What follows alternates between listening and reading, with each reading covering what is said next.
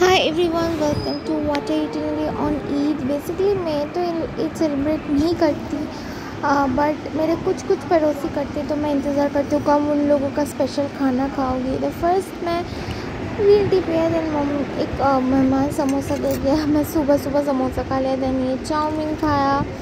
Lunch खाने के लिए मैंने इनवाइट किया गया था मेरे और मेरी मम्मी को।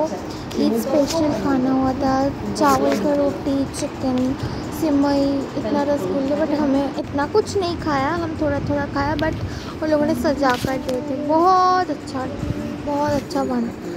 देन डिनर के लिए फिर से परोसी ने मटन चिकन बिरयानी, सिमई, खीर, इतना कुछ भेजा था। मैंने इतना कुछ एक साथ नहीं खाया बट मैं बिरयानी खाया नेक्स्ट टाइम है बाकी खाना खाया। and that's it.